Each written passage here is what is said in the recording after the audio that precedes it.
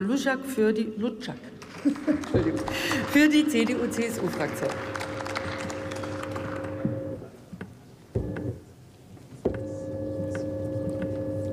Nee, nicht höher. So, Frau Präsidentin, meine sehr verehrten Damen und Herren. Unternehmen müssen sich an Regeln halten. Recht und Gesetz, die sind für jedermann verbindlich, auch für Unternehmen. Das ist selbstverständlich. Und genauso selbstverständlich ist es, dass Regelverstöße sanktioniert werden müssen. Eine Rechtsordnung, die die durch sie eingeräumten Rechte und Pflichten nicht effektiv durchzusetzen vermag, entwertet sich selbst.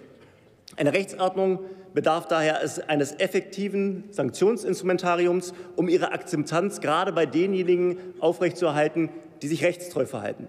Und deswegen ist die Verteidigung unserer Rechtsordnung, dem fühlt sich die Union als Rechtsstaatspartei in besonderer Weise verpflichtet, ganz in unserem Sinne. Und das gilt in allen Bereichen der Gesellschaft, auch im Bereich der Wirtschaft. Und wir haben deswegen auch im Koalitionsvertrag vereinbart, dass wir ein Unternehmensstrafrecht für multinationale Konzerne prüfen. Ich will aber gar nicht verhehlen, dass ich persönlich, und hier schließt sich dann auch wieder der Kreis zum Antrag der Grünen, einem eigenen Unternehmensstrafrecht skeptisch gegenüberstehe. Und das aus sehr grundsätzlichen Erwägungen heraus. Es entspricht nämlich dem Menschenbild nicht nur unseres Strafgesetzbuches, sondern vor allen Dingen auch dem Menschenbild unseres Grundgesetzes, dass die Sanktionierung eines Verhaltens als strafbare Handlung, dass das persönliche Verantwortung und individuelle Schuld voraussetzt. Und das ist in Paragraph 17 unseres Strafgesetzbuches als grundlegendes strafrechtliches und auch verfassungsrechtliches Prinzip manifestiert. Ohne zweifelsfrei nachgewiesene individuelle Schuld gibt es keine Strafbarkeit. Und eine Verbandsstrafbarkeit, das scheint mir mit diesem grundlegenden Prinzip nur sehr, sehr schwer vereinbar zu sein. Ich will mich aber gar nicht so sehr mit unserem Koalitionsvertrag aufhalten, sonst könnte man nämlich auch die Frage aufwerfen, was sind eigentlich multinationale Konzerne?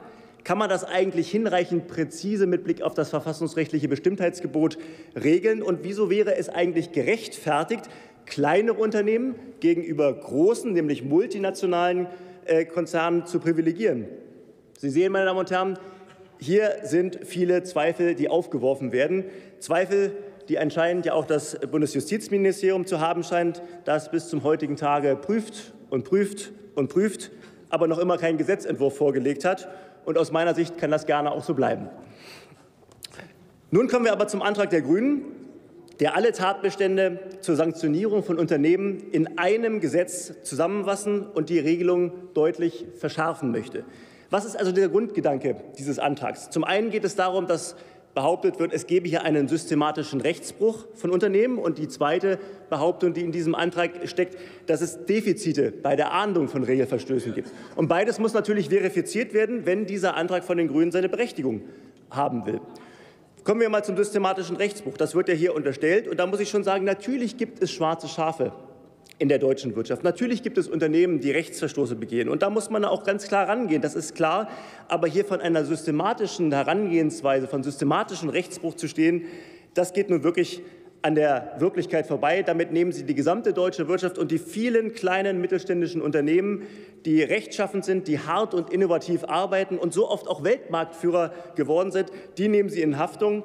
Und deswegen sagen wir, solche unberechtigten Vorwürfe, die gehen zu weit. Wir wollen nicht alle Unternehmen in Kollektivhaftung nehmen, sondern nur diejenigen, die sich wirklich etwas zu Schulden kommen lassen. Und die müssen wir dann entsprechend auch angehen, meine Damen und Herren. Und Sie sagen weiter, dass es Defizite bei der Ahndung gibt. Wenn ich mir mal anschaue, was unsere Rechtsordnung den Unternehmen so an Pflichtenkatalogen aufbürdet, da kann ich eigentlich nicht erkennen, dass es zu wenige Pflichten gibt.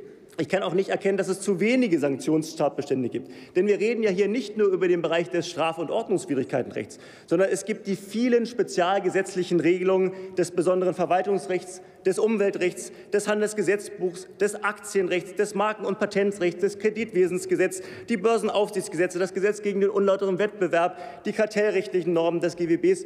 Diese Liste ließe sich fast endlich fortsetzen. Und deswegen muss man einfach mal feststellen, es gibt ausgefeilte Pflichtenkataloge und es gibt die entsprechenden behördlichen Eingriffsbefugnisse und diese werden auch konsequent angewandt. Und deswegen diese Lücken und Defizite, ohne sie zu belegen, hier in den Antrag zu schreiben, da machen Sie es sich ein bisschen zu einfach. Sie bleiben aber dennoch dabei, ohne hier eine fundierte Analyse zu machen, dass das alles nicht effektiv sei und dass man all diese Regeln in ein Gesetz bündeln müsste, was die Sanktionierung von Unternehmen anbelangt. Und das scheint ja auf den ersten Blick auch ein gewinnbringender Gedanke zu sein. Man hat ein Gesetz, dort kann ich als Unternehmen nachschlagen, welche gesetzlichen Pflichten mich treffen und wie gegebenenfalls eine Sanktionierung aussehe. Und ich bin da auch grundsätzlich ein Freund von umfassenden Kodifizierungen. Wir haben seit der Einheit bereits schon einen gesetzgeberischen Auftrag, zum Beispiel ein einheitliches Arbeitsgesetzbuch zu schaffen. Wir haben auch in unserem Koalitionsvertrag festgelegt, dass wir ein Staatshaftungsrecht kodifizieren wollen. Aber da muss man dann schon einmal genau hinschauen. Bei der Zusammenfassung und der Schaffung einer konsequenten, in sich kohärenten Regelung, da liegt nämlich der Teufel häufig im Detail. Gerade im Bereich der Unternehmen, der Pflichtenkataloge von Unternehmen, da sind es die spezifischen Pflichten, die eingehalten werden. Und die sind ja ganz verschieden, je nach Branche und je nach Tätigkeitsfeld. Und deswegen gibt es ja diese vielen Spezialgesetze, wovon ich gerade einige aufgezählt habe. Diese verfolgen allesamt einen eigenen fachspezifischen Regelungszweck. Sie haben eine eigene Ratio legis. Sie haben eine eigene auf Sinn und Zweck der Materie abgestimmte Systematik und sie berücksichtigen die Besonderheiten der jeweiligen Märkte und Tätigkeitsfelder. Und Sie sagen jetzt aber als Grüne, wir müssen alle diese Sanktionenregeln die sich in den verschiedenen Spezialgesetzen befinden, in ein Gesetz zusammenführen und, und das ist jetzt das Wichtige, die Strukturen des besonderen Verwaltungsrechts, also die besonderen spezialgesetzlichen Regelungen, die sollen aber in ihrer Struktur ansonsten unberührt bleiben. Das bedeutet ja im Kern, wir haben die Sanktionsregelung in einem Gesetz und die jeweiligen Pflichten, die habe ich jetzt in einem anderen Gesetz und da muss man sich schon fragen, wie soll denn das eigentlich funktionieren? Weil die, der Gehalt, die Reichweite, die Auslegung eines Sanktionstatbestandes, der erschließt sich doch gerade mit Blick auf diese fachspezifischen Regelungszusammenhänge, die Gesetzessystematik und die Ratio legis der jeweiligen Pflichtenkataloge. Wenn ich also sozusagen diesen inneren Zusammenhang die zwischen Pflicht auf der einen Seite und Sanktion auf der anderen Seite besteht, wenn ich das nun auseinanderreiße und in zwei unterschiedlichen Gesetzen regeln möchte, da geht ja der gesamte systematische und theologische Zusammenhang verloren. Und deswegen ist dieser Vorschlag, den Sie uns hier präsentieren, gesetzessystematisch völlig verwählt. Er würde zu einer enormen Rechtsunsicherheit führen. Und deswegen können wir das auch nicht mittragen, meine Damen und Herren. Und ähm, Jetzt muss man sich mal vorstellen, also der, die Begründung und der Ansatz des äh, Antrags, der ist schon als solches wirklich sehr fragwürdig. Aber jetzt kann man auch mal auf die konkreten Dinge ähm, äh, hier schauen, die uns vorgeschlagen werden. Zum Beispiel wird hier ein öffentliches Sanktionenregister vorgeschlagen. Ich hatte eigentlich immer gedacht, seit der peinlichen Halsgerichtsordnung Kaiser Karls V., das war im Jahre 1532, sei der Pranger abgeschafft worden. Ich muss jetzt zur Kenntnis nehmen, die Grünen wollen an dieser Stelle offensichtlich zurück ins Mittelalter. Aber wenn das noch äh, mit einem Schmunzeln vielleicht hingenommen werden könnte, wenn man sich mal die anderen Maßnahmen vornimmt, die dort vorgeschlagen werden, zum Beispiel die Strukturmaßnahmen als Strafe. Dort ist gemeint, dass man Unternehmen zerschlagen kann, sie unter staatliches Kuratel stellen kann und einen Staatskommissar einsetzen kann. Und zwar nicht nur für einzelne Unternehmen, sondern für ganze Unternehmenszweige. Damit bewegt man sich dann noch auf dem direkten Weg in eine staatlich beaufsichtigte und gelenkte Volkswirtschaft. Das ist nun wirklich Sozialismus pur und das können wir wirklich nicht mitmachen. Und und dann muss man sich auch mal fragen, wen träfe denn eigentlich die Zerschlagung eines solchen Unternehmens? Die Leidtragenden wären dann doch tatsächlich die Arbeitnehmer und die Kunden des Unternehmens. Die haben aber doch mit dem Fehlverhalten eines Unternehmens, der aufsichtsführenden Personen doch überhaupt gar nichts zu tun. Nein, mit diesen Vorschlägen, da treffen Sie wirklich die Falschen. Und das wäre auch wieder nicht in Einklang mit einem material verstandenen Schuldprinzip. Und deswegen können wir das an dieser Stelle nicht mitmachen, meine Damen und Herren. Richtig ist, das Ordnungswidrigkeitenrecht, das müssen wir uns anschauen. Da können wir auch wirklich darüber nachdenken, ob wir das schärfen müssen. Wir haben da in den letzten Jahren noch einiges gemacht. Erst 2013 haben wir die möglichen Strafen verzehnfacht von einer Million auf zehn Millionen Euro. Das ist schon mal was. Aber natürlich muss man hinschauen, ob diese Sanktionen effektiv sind. Da kann man auch darüber nachdenken, ob man das noch schärft.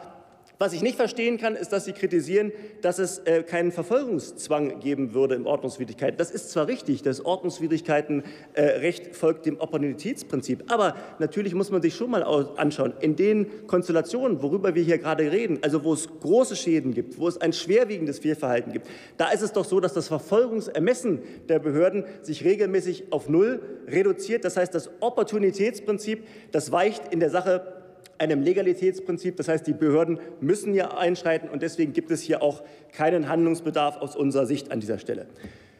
Was man aber mal machen kann, da kann man tatsächlich nachgucken. Momentan ist es ja so, dass die Zuständigkeit bei den Amtsgerichten in aller Regel ähm, liegt.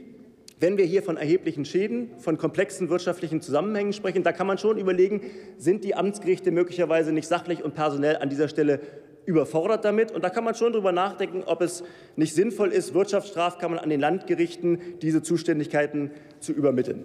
Also es gibt viele Punkte, worüber man nachdenken kann, um Sanktions Mechanismen auch effektiv zu machen. Ich möchte abschließen mit einer Bemerkung. Das fand ich dann schon interessant in Ihrem Antrag. Sie setzen ja sehr stark auf eine Abschreckungswirkung von Sanktionen. Die haben einen starken präventiven Effekt, schreiben Sie, und die sollen dann zu rechtstreuem Verhalten führen. Und das wundert mich dann schon ein bisschen, weil diese Argumentation, wenn wir sagen, wir wollen das Strafrecht zum Beispiel im Bereich der Terrorismusbekämpfung verschärfen, da lehnen Sie diese Argumentation immer mit allergrößter Vehemenz ab. Hier tun sich massive Widersprüche in Ihrer Argumentation auf. Aber man sagt ja, Einsicht ist der erste Weg der Besserung. Und wir werden Sie daran erinnern. Heute werden wir jedenfalls Ihren Antrag erst einmal ablehnen, weil er im Ansatz verfehlt ist und viele Maßnahmen vorschlägt, die die Falschen treffen würden und nicht zielführend sind. Und deswegen können wir das so nicht mittragen. Danke. Vielen Dank. Vielen Dank, Herr Kollege. Nächster Redner Nima Mo.